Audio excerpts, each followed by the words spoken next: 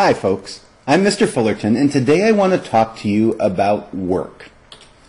Now, we'll start off by defining work, and we'll talk about work in the physics sense, and we'll also calculate the work done by a force. So, what is work? You do work on an object when you move it. The rate at which you do work is known as your power output. And when you do work on an object, you transfer energy from one object to another. As I do work in lifting my phone, I give it gravitational potential energy. As I throw it sideways, I give doing work on it, I give it kinetic energy. So when you do work on an object, you transfer energy from an object to another. Work, in the physics sense, is the process of moving an object by applying a force. If you don't move anything, no work is done. So, some examples of work. A stuntman in a jetpack blasts through the atmosphere, accelerating to higher and higher speeds. The jetpack applies a force causing it to move. The hot expanding gases are pushed backward out of the jetpack, and by Newton's third law, the reactionary force of the gas pushing the jetpack forward causes a displacement. So the expanding exhaust gas is doing work on the jetpack. There is a force causing an object to move work is being done. In another example, a girl struggles to push her stalled car but can't make it move. Although she's expending significant effort, since the car doesn't move, no work is being done. An object has to move in order for work to occur. A third example. A child in a ghost costume carries a bag of Halloween candy across the yard. If the child applies a force upward on the bag, but the bag moves horizontally. The forces of the child's arms on the bag don't cause the displacement. Therefore, no work is being done by the child's arms. The force has to be causing the displacement in order for work to be done. So calculating work. It's a fairly straightforward formula. Work is equal to force times displacement. W, the work done in joules, is also known as a Newton times a meter. Now you'll recall that a Newton is a kilogram meter per second squared times a meter, so a joule is a kilogram meter squared per second squared. A joule is a unit of energy and of work, a Newton times a meter. Force is the force applied in newtons, and d is the object's displacement in meters, or in other courses, if you're using x for displacement, work equals force times displacement x. Now, if only the force in the direction of the displacement counts toward the work done. So when the force and displacement aren't in the same direction, you have to take the component of the force that's in the direction of the displacement. So in this case, if we have a force up and at an angle, but our displacement is sideways, we have to use the component of force in the same direction as the displacement. In this case, we can use our trig to find that that would be f cos theta. So the work done in this example would be F cos theta times D. And sometimes you'll see this written as FD cos theta, just rearranging the terms. But it may be helpful to remember F cos theta is really giving you the component of the force in the direction of the object's displacement. Let's see if we can't put this to work. In sample problem one, an appliance salesman pushes a refrigerator two meters across the floor by applying a force of 200 newtons. Find the work done. Well, since the force and the displacement are in the same direction, the angle between them is zero. So work, which is F cos theta d, well, cos theta is going to be cos zero degrees. The force and displacement are in the same direction. The cos of zero, cosine of zero is one. So that's just going to be our initial force times displacement, or 200 newtons times 2 meters, for a total of 400 newton meters, or 400 joules. Very straightforward problem. Complicating things a little bit. A friend's car is stuck on the ice. You push down on the car to provide more friction for the tires by way of increasing the normal force. You push down, the normal force must be greater. That allows the car's tires to propel it forward five meters on the less slippery ground. How much work did you do? Well, in this case, the car's displacement is horizontally, but the force you're applying is at a 90 degree angle to that. So the work done is F cos theta times the displacement, or F cos 90 degrees times the displacement.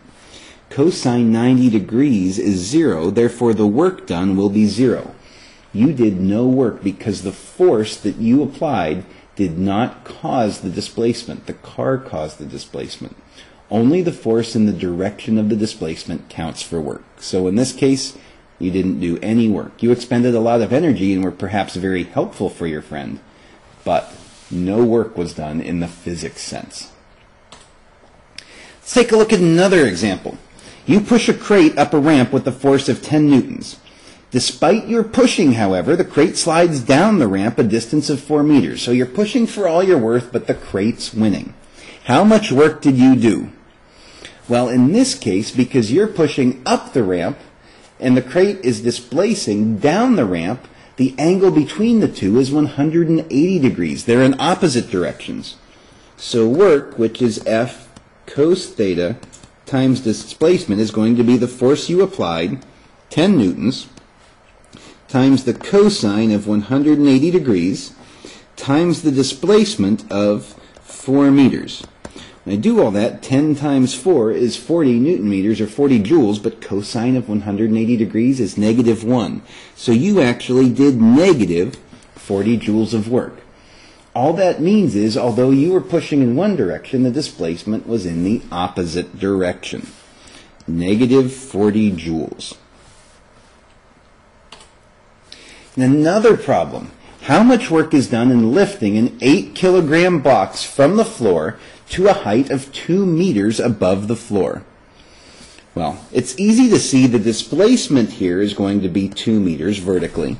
And the force must be applied in the direction of the displacement. You have to push up in order for the box to move up. So that's going to be pretty straightforward.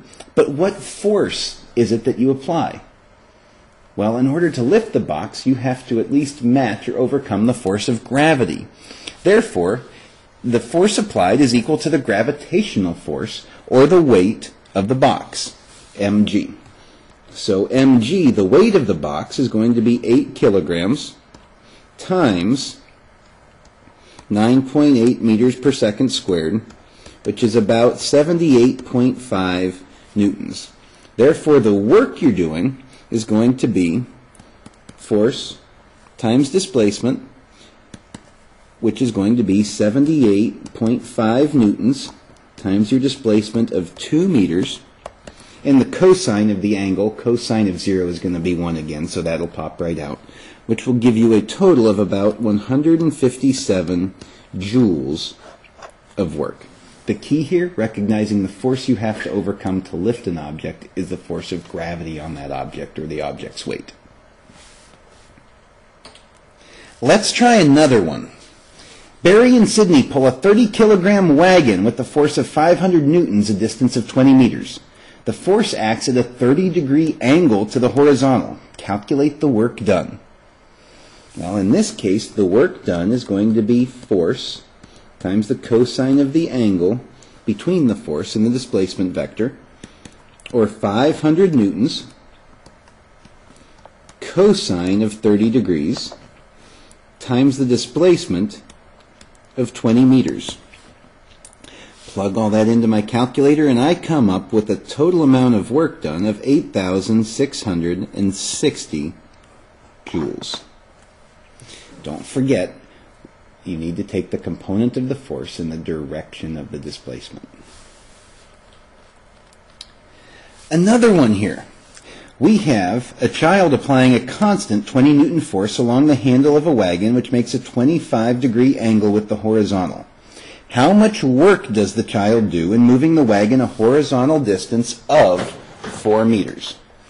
Well, in order to do this one, work is F cos theta times the displacement, or 20 newtons, times the cosine of 25 degrees, times the displacement of 4 meters.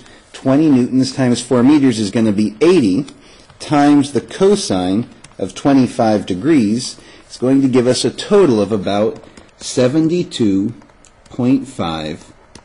joules. All right, moving on. The area under a force versus displacement graph can also give you the work done by a force.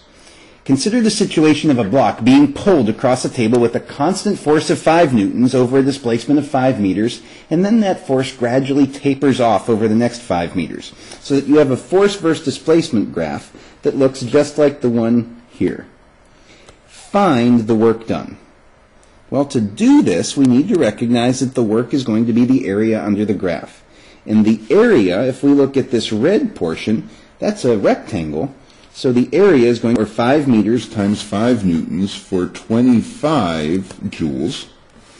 And over here on the right-hand side, the green area is a triangle. 1 half base height is going to be 1 half times our base, 5 meters, times our height of 5 newtons is going to be 12.5 joules. So when we put all this together, the work done is going to be the area of our rectangle plus the area of our triangle.